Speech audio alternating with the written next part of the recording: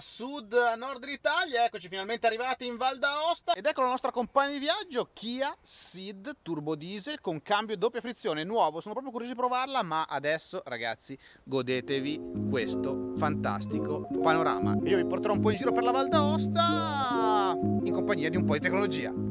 Andiamo! Come vedete quello è il castello di Feni e, e quando la tecnologia vi salva la vita, ovvero guardate dietro le mie spalle la coda. Non avrei mai scoperto questo posto se non grazie a, alla tecnologia, perché eravamo a Feni. Feni c'era una coda allucinante per vedere il castello e allora è venuta in mente una cosa, ma magari i biglietti li vendono anche online. Sì, siamo andati online, smartphone, OnePlus 3 Gold che sto provando, ho comprato i biglietti, ho prenotato la mia visita, ho prenotato la visita anche al castello successivo, quello di Vera, arriviamo qua, mangiamo, mangiamo, dove? Guardiamo TripAdvisor. Ci ha consigliato questa fantastica trattoria, Omens. Abbiamo mangiato benissimo, ragazzi, e adesso abbiamo prenotato la visita al castello di Feni e a quello di Ver. E viva la tecnologia! E tra l'altro qua, in mezzo al nulla, c'è il 4G. Ma perché mi tocca correre anche in vacanza? Devo perdere questo vizio di incastrare tutti gli appuntamenti. Ecco, la tecnologia non aiuta a fare le salite però, eh. Però guardate che bello questo castello. Vai Gabri!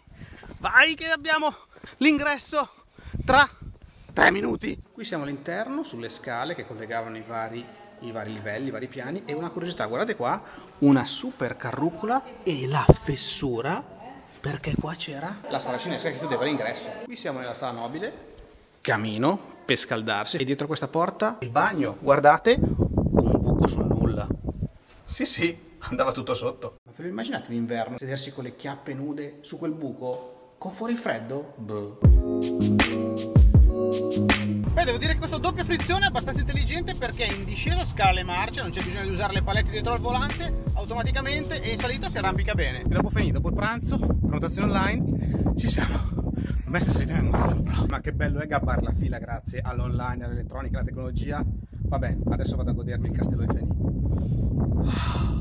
Ho anche ripreso fiato tutto girato da camera anteriore di OnePlus 3 Gold. Visita terminata, mamma mia che bello, ve lo consiglio a tutti, qua Castello di Feni, bellissimo, tra l'altro guida molto molto competente che ci ha fatto appassionare proprio alle storie medievali di questo castello. Sì, ma la cosa più bella qual è stata? Scoprire che era uscito un nuovo Xiaomi dual camera disponibile al grosso shop e ordinarlo mentre facevo la visita. Sì, ovviamente sempre seguendo la guida, eh. Multitasking. Che dite, me lo faccio recapitare qua? Vai DHL, vai! Sì, ma oggi sconfiniamo in Francia, andiamo a Chamonix e passiamo tramite il traforo del Monte Bianco. Comunque oggi giornata spettacolare. Stiamo per entrare nel tunnel, uno dei tunnel più lunghi del mondo.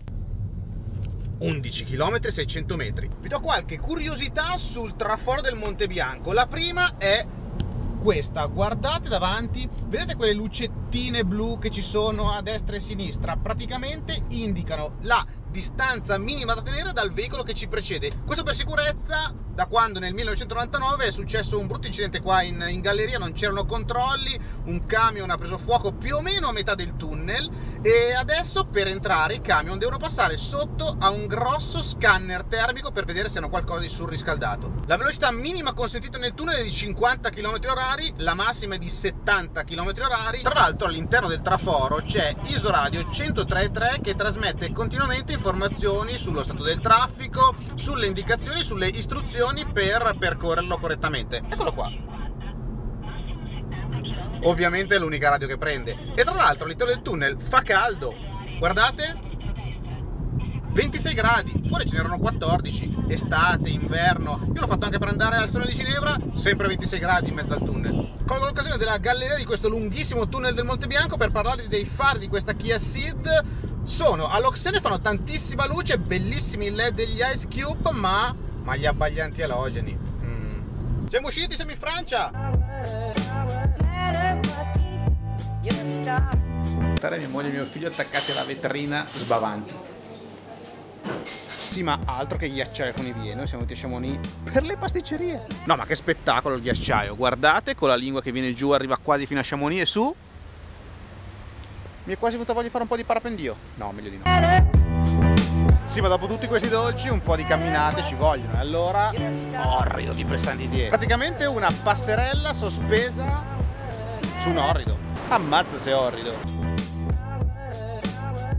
Opera ingegneristica molto interessante, guardate, ci sono dei tubi in acciaio, vedete che sorreggono la passerella, più che sorreggono sono compressi perché poi ci sono queste funi, ovviamente che lavorano a trazione, che tengono su la passerella, ma quello che più impressiona è proprio l'elasticità di questa struttura, quindi non è stabile, non è fissa, noi siamo qua su un orrido e balla anche un po', ma ci sono i più pazzi, i più temerari, che cosa fanno?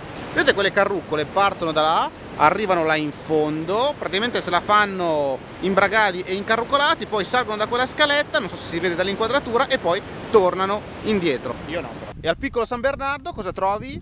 Un sacco di resti romani. Oggi ci accompagna in questa avventura Xperia X Performance non c'è quasi nessuno, quindi in pochi mi prenderanno per matto. Siamo in un micro laghetto alpino, è gelido, lui è impermeabile, potevo non fare la pirlata? No, non potevo. Ecco, allora, prima di tutto facciamo questa cosa qua, tirano sulle maniche.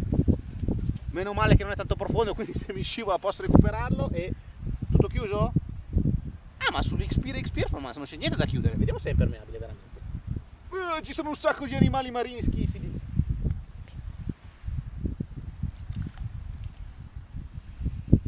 Nella prossima puntata vi dirò se è retto. Buongiorno, buongiorno, buongiorno, buongiorno, pirlata numero 2. Sì, ma il piccolo San Bernardo era anche un importantissimo avamposto militare. Pensate qua si dominava praticamente questo che era l'unico passaggio di valico eh, Francia-Italia e allora, e allora importanti dotazioni militari. Guardate questa. Penso che sia una torretta di avvistamento, è tutta in ferro, ragazzi è veramente incredibilmente resistente con questi fori da dove guardavano eventualmente sparavano. E vedete questi tubi, tubi in ferro, ce ne sono anche là, là, là, probabilmente era per dare aria alla galleria. Su queste strade di montagna, tutte curve tornanti, il cambio si è comportato bene. Frontale, secondo me, molto caratteristico, aggressivo. Noi abbiamo la uh, GT Line, vedete, gli Ice Cube, quindi i quattro LED anteriori che la caratterizzano faccio vedere il taglio laterale e il taglio posteriore di questa che è la versione GT Line.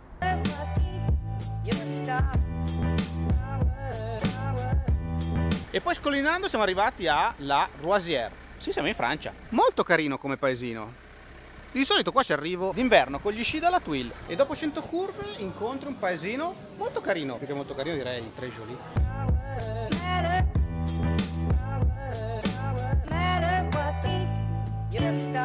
Sì, vabbè, tutto molto bello. Ma ce lo volete mettere un negozio di elettronica qua o no? Dai, due telefoni, tutto Trejoly, ma un po' di electronic. Vai famiglia, riprendiamo la Kia e altri 100 tornanti ci aspettano. Beh, il tetto oggi è particolarmente panoramico. Cosa ci faccio con tutti questi giubbotti in mano? Beh, semplice. Oggi si va là, Skyway, oltre 3000 metri. Ce l'abbiamo fatta Punta Hellbronner, siamo a 3300 rotti metri, fantastico, non sto a dirvi il panorama che ve l'avranno detto tutti, ogni Wikipedia o guida che si rispetti vi parlerà di questo fantastico panorama, ma io vi parlo di quella cosa molto particolare, è un pilone aereo, perché dovete sapere che da qua partono degli ovetti che arrivano praticamente fino a Chamonix, non proprio a Chamonix, ma eh, su un'altra vetta molto alta, fanno la traversata di tutto il ghiacciaio e per farli stare su, vedete, non potevano costruire un pilone sul ghiacciaio perché il ghiacciaio si muove. E allora guardate c'è una, un, um, un, cavo, una fune legata là in alto su quello spuntone, un'altra legata là sotto che tengono su i cavi sia portante sia traente della, dell'ovovia. Direi che i cartelli non sono molto rassicuranti. Ebbene sì, sono su un ghiacciaio. Adesso vi faccio vedere come arrivare.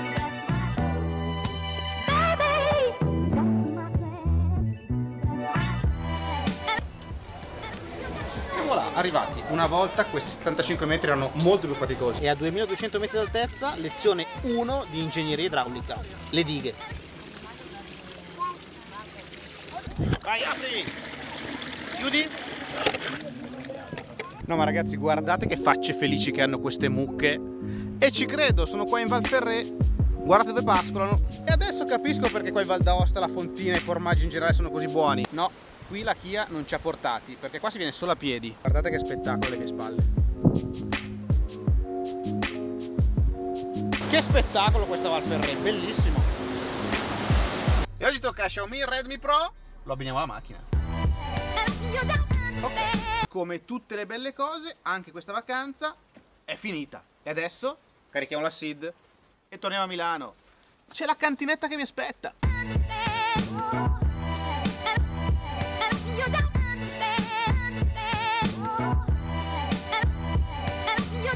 La tecnica della spinta funziona sempre. E voilà, tutto sotto la cappelliera. Sì, ma si chiuderà? Proviamo.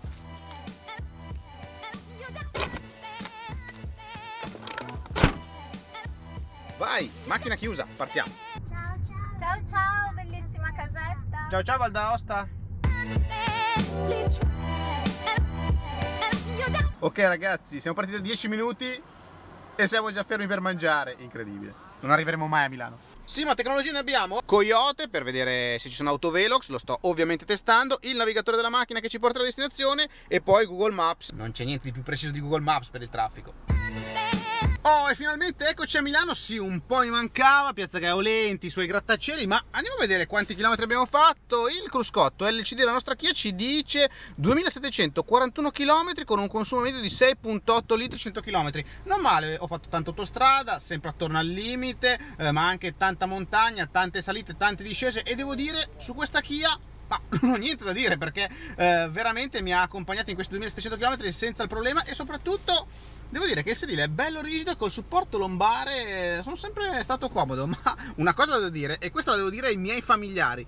Ragazzi, guardate come mi avete conciato la macchina. Allora, prima di tutto, lattina buttata qua, eh, polvere, eh, cicche... Mm, questo è il posto di mia moglie e guardate dentro la tasca cosa si trova, grissini, smangiucchiati, eh, parco avventura, vabbè parco avventura ci sta, ma sono curioso di vedere come mi ha lasciato il posto dietro mio figlio che, a cui dico sempre Gabriele, non mangiare in macchina, non lasciarmi tutte le briciole. Guardate quanto mi ascolta. Ok, adesso mi tocca una bella passata all'autolavaggio. Prima devo togliere il supporto per l'iPad, comodissimo, è stato molto comodo mio figlio, guardate quanto spazio a disposizione, tra l'altro mia moglie è un pochino più alta di me e il sedile era eh, impostato un pochino più indietro, ma adesso io cosa faccio? Faccio un salto in ufficio perché mi mancano un po' i miei gingilli tecnologici, la mia cantinetta. Andiamo a vedere come sta. Caro Ninebot, quanto mi sei mancato. Ho fatto male a non portarli in montagna. Quanta fatica mi sarei risparmiato. Ma cosa sarebbe più bello di arrivare a trovare un bigliettino? Ah, eccoci qua. Togliamo i 100 sistemi di sicurezza, allarmi, telecamere a guardia della cantinetta. Ovviamente tutto smart. Ah, entriamo.